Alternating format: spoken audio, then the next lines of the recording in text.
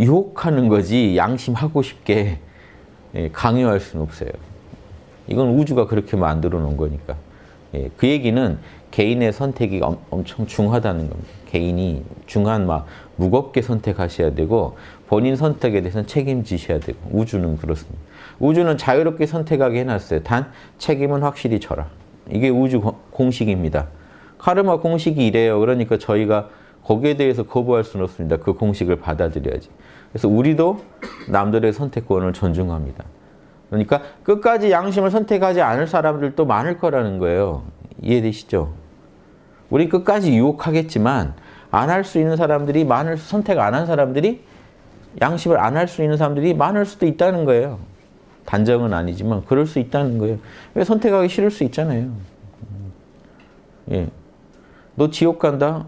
아, 지옥도 이제 하도 가서 견딜만 해. 뭐 이러면 뭐라고 하겠어요? 야, 톱질이 그립다야. 막 이러면 뭐라고 해요? 여러분 뭐라고 하시겠어? 축생계, 아, 축생 좋지 뭐, 개팔자가 상팔자지. 이러면 뭐 해야지 어떻게 요? 그러니까 그렇게 좋다는데 왜냐면 사람들 중에 또라이들 많잖아요. 뭐 이상한 거 좋아하는 사람들 많잖아요. 넌 그게 좋냐 하는 사람들 많잖아요. 제가 좋아하는 것도 남들이 보면 저도 또라이죠.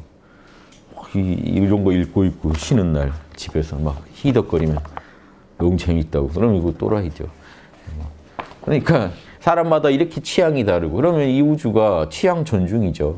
단 책임은 본인이 져라. 그러니까 보살도 마찬가지입니다. 막 이렇게 지옥 간다, 뭐 한다, 협박하는 것도 한 명이라도 더 양심했으면 하는 마음에서 나온 말이겠죠, 처음에. 그러니까 개인 선택권을 존중하는 게 이 우주입니다. 그러니까 자꾸 왜 협박을 하겠어요? 어차피 선택권이 저쪽에 있기 때문에 겁을 줘야나 선택할라나 해서 이, 이 소리도 해보고 저 소리도 해보고 어차피 여러, 이 여러분 인생의 주인공 여러분이기 때문에 내가 안 한다 그러면 안 하는 거예요. 그런 일이 안 일어나는 거예요. 그래서 선택을 해야만 일어날 일들이 있으니까요. 선택을 안 하시면 안 일어나는 거죠. 그래서 그런 것 같아요. 그래서 저는 항상 그래요, 마음이. 음, 선택권을 존중하고 억지로 할 수 있는 게 아니고 본인이 마음을 내야 되는 불교식으로 말하면 본인이 발심을 해야 돼요. 유교식으로 하면 본인이 입지, 뜻을 세워야 돼요. 이게 엄청 중요합니다. 발심 안 하면 안 일어나요, 일이. 불교에서는 발심 그러죠. 유교에서는요, 입지. 이게 갈지자에다 마음 심자 합친 겁니다. 마음이 갈 방향 을 정한 거예요. 뜻이라는 거. 딱 나는 어디로 가겠다. 어디로 가겠다 하고 뜻을 확립했다. 섰다는 거는 이제 안 자빠진다는 거죠. 딱 서 있다. 왔다 갔다 하지 않는다는 거예요. 딱 서 있다. 발심은 그 마음이 발동해 버렸다. 이 마음을 이제 채워질 때까지는 가는 거죠.